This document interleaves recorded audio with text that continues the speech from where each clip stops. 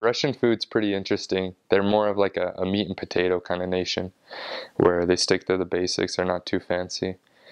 You know, they can get fancy, but most of the time their salads consist of like a, a chopped up tomato and chopped up cucumber and chopped up onion just mixed up with with like a heaping glob of mayonnaise on top.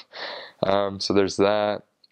Um, I think one of my favorite things though was um, something called pirozhki and it's kind of like a little pastry, but inside they stuff it with, um, you know, they can stuff it with hamburger or they stuff it with cabbage. That was my favorite because walking around in the wintertime, you stop and they have these little kiosks off the on the side of the road, and you pay like maybe thirty cents and you get like this pastry this big with steamed cabbage in it, and you're biting into it and the steam's going everywhere. It's just like a, I, I don't know how to say it, idealistic winter, you know.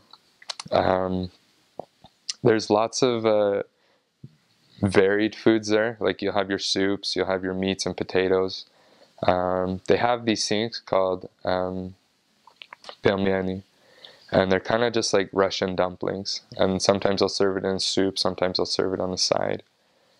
Um, and those are really tasty. You just can't eat too much because yeah, it's just bad side effects.